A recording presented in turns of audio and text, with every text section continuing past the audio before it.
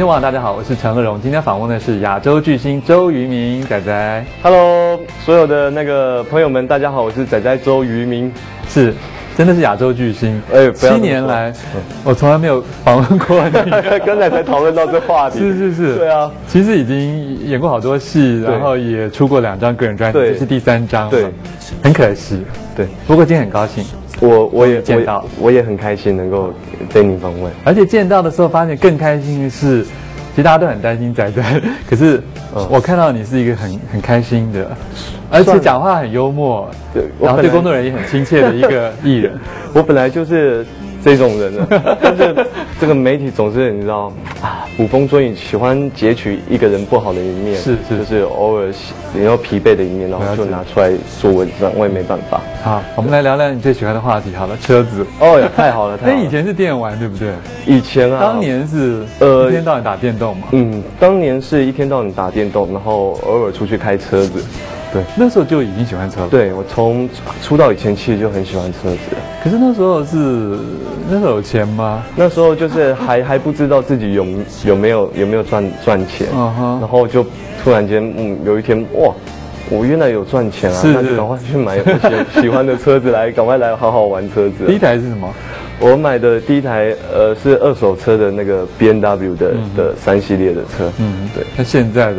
呃，现在的话就是工作的话，我就是一个一台工作的修旅车，然后出出去外面可能跟家人出去外面，呃，兜风有一台兜风的车子，啊。然后自己再出去外面一个人的一个人的时候有自己的一台跑车，啊对，为什么那么喜欢车？有有试图分析过吗？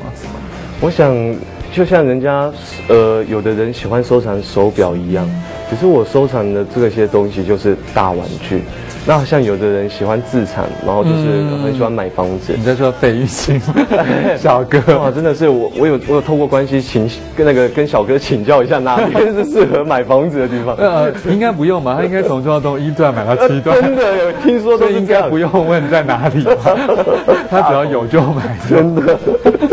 好，所以那个时候就是很喜欢车了，嗯然后也会真的把车当人，对不对？会拟人化。呃，会，我我喜欢车子，最主要原因是，呃，我从国中的时候，然后接触到第一本车的杂志，因为我朋友在便利商店打工，那那时候是暑假，我晚上都会去那边陪他一整夜，他是大夜班，然后我就看遍了他做的事你就看杂志，对，我就看遍了所有的汽车杂志，当哪时就喜欢上车子这样的机械的东西。等到我高中的时候，我就去学机械科，就是想要更了解车子，所以你真的会稍微一些一点点像技，术面的。比如说要很专业的话，我就会选择汽修科。汽呃，机械科跟汽修科是不一样，那但是我们机械科也是会呃学到拆引擎啊，拆拆拆下来，然后再装回去，然后我们我们永远都是拆下来，然后再装回去的时候，然后就跟老师讲说，不好意思，跟老师讲说，哎，还有十几颗螺丝，怎么办？但是车可以发动哦，然后我就我们都把那个螺丝缠起来，然后就那个那个这样很低级耶，把它就是有割掉吗？哦更低级的是什么？就是那个学校那个工作垫啊，那个是软垫，然后下面是铁架嘛，然后所以大家都想把东西藏进去，就一打开，历代学长所有的留下各种零件。零件都在那边，所以那台车子的零件永远都 都是少的。对，哎呀，还好你没有怎么去当兵，因为当兵的时候可能要要拆卸那个部件，哦，那个那个那个 东西，那个说不定万一装不回去，也有人把零件藏起来就就藏，成那个几颗小子弹。这样就不行了。啊所以事实上，现在虽然是当了大明星，可是还是很有机会玩车啦。因为嗯。因为有一些娱乐可能就比较不适合嘛，对，嗯。为了隐私的关系，其实现在还是你本来也没有什么娱乐，嗯，我 本来本身也没什么娱乐，被你讲中了，是个宅男嘛，超级宅男。对，嗯。没什么娱乐生活，就是在家里面对电脑或是面对电视，要不然就是在密闭的空间，还是车子，然后我不会去室户外，就是开着车子，还是不会去下去。那怎么样维持开朗的个性啊？呃，我我还是其实也没有那么容易开朗。我我其实本身是一个，就是一个，呃，比较不安分的一个一个人。我应该讲说是，是我我我我从来没有没有肯定过自己，嗯然后就是所以所以我对自己会很严格。那有时候呃，必须我觉得做艺人有一件非常大的事情，就是当你在荧幕上的时候，你不管你的私底下的心情如何，你都必须要保持一个最佳的状态给是。给任何人看到，因为这是你的工作，你必须要对你的工作负责。所以目前来讲，当然我今天心情也很好，对，然后然后然后又能够跟你碰到面，然后你会跟我讲说七年来都没有访问过我，然后我就觉得哇，那我们今天真的是要好好来聊一下天。是，所以心情其实每个平凡人也一样，嗯，都会有高有低了。对对只是看要怎么调试。对，啊，那只是明星有的时候我觉得比较惨的一点、嗯是，如果发生一些事件，平常人他可以慢慢去度过，对，不管是亲情上的、爱情上的、工作上的问题，因为旁边不会一直有人来采访你，对来报道你，嗯。那可是当艺人就很难，对不对？嗯有些事件发生之后就每天追，你好像非要立刻就有有要有所回应，或要或者要或者要振作起来。对可是其实人没有没有那么容易嘛。必须讲说，我们都是人，人是啊人是有有血肉的，我们都是脆弱的。是我们所谓的坚强，是为了要让自己撑起来。嗯这一块我们，所以我们才必须要坚强。但是偶偶尔我们总是会被某一些事情给打败过，嗯然后你会总是会因为那些事情打击到自己。但是我只能告诉自己说，面对媒体，你就是必须要。诚挚的去说说所有的事情，然后然后如果遇到最最最糟糕的事情，那我也会我也会选择很老实，然后更坚强振作起来，不要让媒体觉得这样就可以持续的把我打击或是把我打败。嗯，不过也没有变得愤世嫉俗，对不对？呃因为有的人会就因此很很变得很堵了很多事人事我物。我我有有一阵子，老实讲，有一阵子大概三三三年前，然后两年前那一段时间，我我我应对媒体的态度是很臭叠对叠的，就是哦、你你可能蹦了一个话题，我就觉得你这话题是有后面有套有有梗的，后面要铺梗的，然后我就会直接了断说你是不是要讲什么，然后所以有时候现场气氛会因此而变得尴尬起来，然后大家可能都不太愉快，然后导致于大家可能呃，你知道采访采访的时候也是大臭脸对臭脸。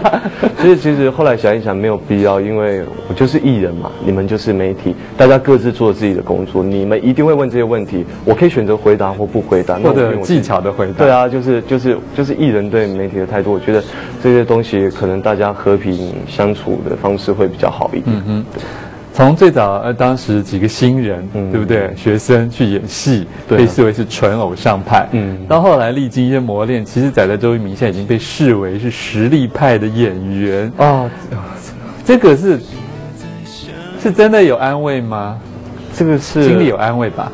这个是我这么多年来自己呃下定的第一个目标，就是大概四年前我拍《战神》的时候，我给自己的目标就是，我拍《战神》的时候，我发现演戏是好玩的，嗯嗯。我想要好好的演戏，然后我想要更了解演戏的东西，我想要更专业一点点，所以我就希望我自己在那时候到到现在，我一直铺成的路，就是我我每一年我至少一定要接一部戏，是我不管比较多忙质有对质感的，对，我不是不是值不值得，哦就是我一定要接一部戏。这样有呃，其他三位可能没有办法说，他们没有选择是在台湾每一年都有演出的作品。那像我的话，我就很要求这一块，我必须要去做，做到一个大家有一点点认同我的地步。所以现在就有一点点认同呢，其实我有感觉到蛮欣慰的。但是我觉得我需要更大的认同，就还需要努力。这个认同应该不叫什么奖项吧？还是奖项也算是？哦我我比如金钟啊，或者金你知道，像我们的来讲的话，我必须老实的讲，因为我们一开始是偶像出道的，F 四就是是一个一个超级偶像像，然后你要去抖掉这个，拿掉这个偶像的包袱，我跟你讲太困难。你唯一可以证明的自己不是偶像的东西，你不是人家网络上面在说你，然后记者在说你哦，你好，你现在是实力派或什么，这些都没有办法证明证明你现在脱掉偶像的包袱。唯一能够证明的就是拿奖对，但是我不会汲汲营营的想要拿奖，但是这次金钟奖，你告诉我怎么会才？开玩笑的，开玩笑。对啊，就是呃，因为因为因为像这些东西，我就会发现自己，呃，跟真正的实力派还有一段距离，我还必须要努力啊。对。嗯可是我也必须告诉你，你最崇拜的前辈，嗯，刘德华呃，你是说他？他非常当然他演戏拿过很多奖，可他非常想拿音乐的奖项，可他在台湾目前还未如愿了。哦，你是说金曲奖的吗？是啊，哦他一直觉得他的唱腔也没有，呃，是比较是比较通俗的一点唱法啊。可是他还是觉得，好像要拿台湾奖很困难。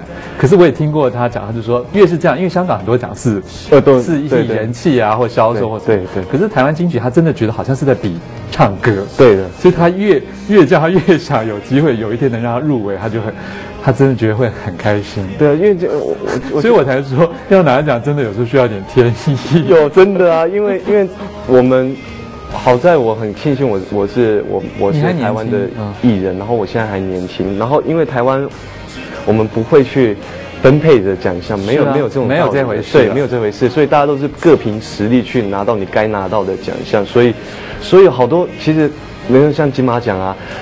呃，港星啊，或者其他的艺人拿到台湾的金马奖的时候，就是，就就是一个真正动的真正的在亚洲的华人地区的一个肯定，所以我们台湾的其实这些，我觉得这些这些奖啊，其实都是很重要的一个指标啊。嗯对。